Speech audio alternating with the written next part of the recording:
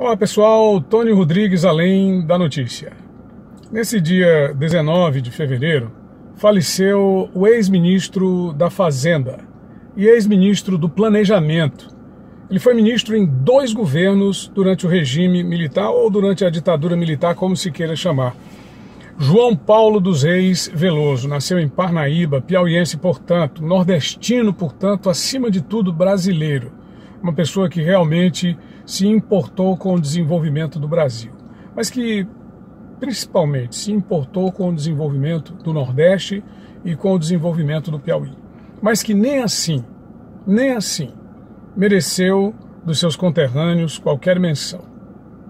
Ninguém fez de João Paulo dos Reis Veloso qualquer biografia.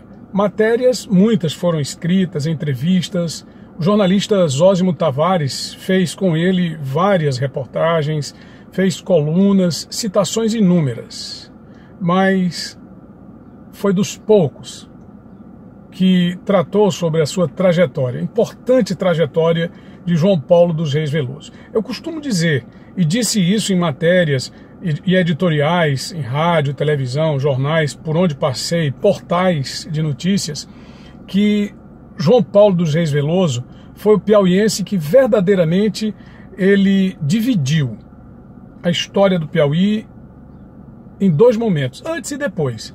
Assim, porque antes do João Paulo dos Reis Veloso, nós tínhamos aquele Piauí que não tinha asfaltamento, que não tinha abastecimento de água regular, que não tinha energia elétrica. O Piauí, onde a grande maioria das pessoas ainda tinha nas suas residências a energia elétrica que era através das usinas, é, das usinas, que eram pelo sistema diesel, né, a diesel. Usinas que muitas cidades ainda, do, do motor movido a diesel. E algumas ainda, as velhas usinas a lenha, dos anos 40, dos anos 50. Isso em plena era do milagre brasileiro. E foi João Paulo dos Reis Veloso que propiciou tudo aquilo que no começo dos anos 70 as pessoas atribuem ao Alberto Silva. Isso não aconteceu só no Piauí, isso aconteceu no Ceará, isso aconteceu no Maranhão, isso aconteceu na Bahia, aconteceu em Pernambuco, aconteceu em Sergipe. Naquele momento ali, não estou falando do que ocorreu em outras épocas, no Rio de Janeiro, Santa Catarina, por conta de localizações geográficas, ou por conta da primazia que outras regiões do país, outros estados brasileiros tiveram. Estou falando daquele momento do milagre brasileiro, naquele instante que nós aqui no estado do Piauí tivemos e não soubemos aproveitar por conta de questiúnculas políticas.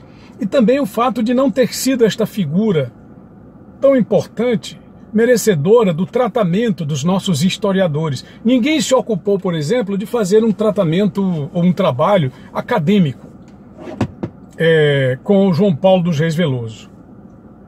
Não é?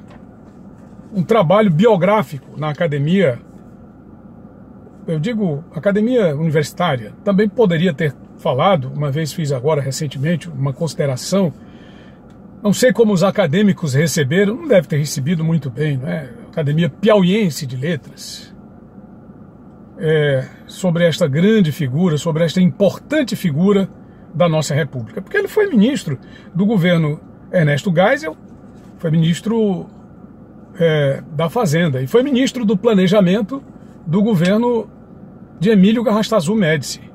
O Piauí sempre teve, na verdade, nomes importantes, ocupando ministérios importantes, desde a época do Império. Nós tivemos é, o Marquês de Paranaguá, no período de Dom Pedro II, como ministro da Marinha, ministro da Guerra, como presidente do Conselho de Ministros, enfim, Marquês de Paranaguá, que nasceu lá em Nossa Senhora do Livramento de Paranaguá, na região do extremo sul. Nós tivemos Félix Pacheco no começo do século XX no governo de Arthur Bernardes. Nós tivemos, não como ministro, mas como interlocutor importantíssimo, senador, deputado federal Cândido Ferraz. Nós tivemos o próprio João Paulo dos Reis Veloso em dois momentos como ministro em governos militares. Nós tivemos Petrônio Portela, que foi presidente da Arena, o partido do governo, é, foi presidente do Congresso Nacional, quando chefiou a missão Portela, na missão Portela. E foi ministro da Justiça do governo Figueiredo. Poderia ter, inclusive, sido presidente da República, tal a importância que ele teve durante a ditadura militar, que foi ganha, inclusive, durante a missão Portela porque o Petrônio Portela foi responsável pela redemocratização brasileira devido à sua capacidade interlocutória. Ele era um homem do diálogo. Tanto é que foi governador, mandou e desmandou. Inclusive, foi a sua força política que obscureceu o poder e a força de Alberto Silva e a força do próprio João Paulo dos Reis Veloso, que poderia ter sido mais, porque ele foi lá ministro e trouxe todos os recursos necessários para promover esse desenvolvimento e fazer esse Piauí do antes e depois.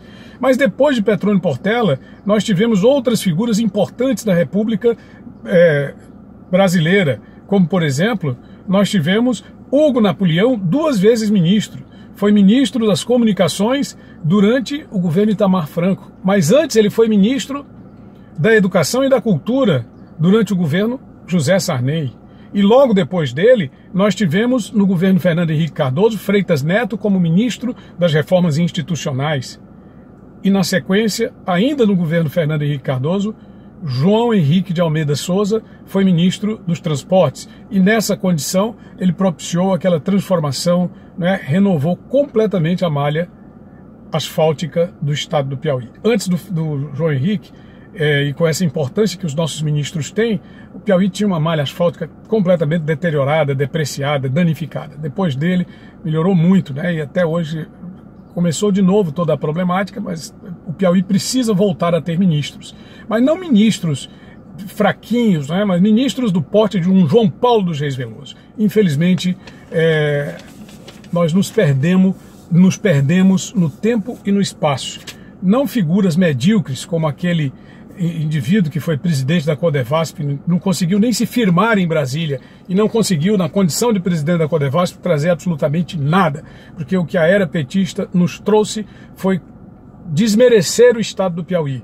Não trouxe recursos, não trouxe obras e não trouxe sequer a valorização que a gente piauiense merece no contexto da República Brasileira. É isso aí. Se você gostou, deixe o seu gostei, se inscreva no canal e ative as notificações.